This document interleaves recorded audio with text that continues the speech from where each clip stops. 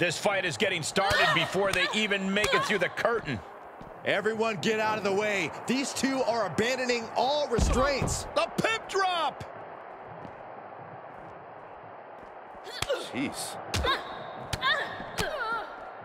Oh, that backfired on her. Catches a punch.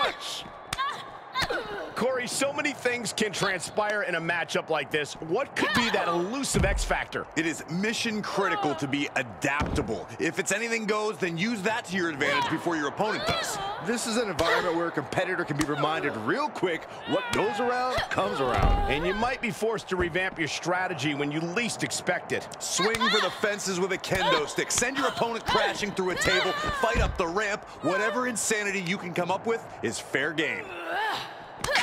Grief. That's a chop that'll wake you up. Uh-oh.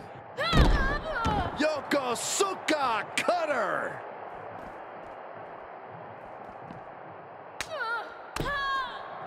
Oof, ruthless striking.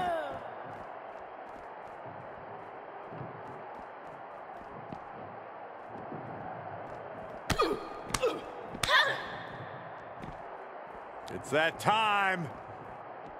The pip drop!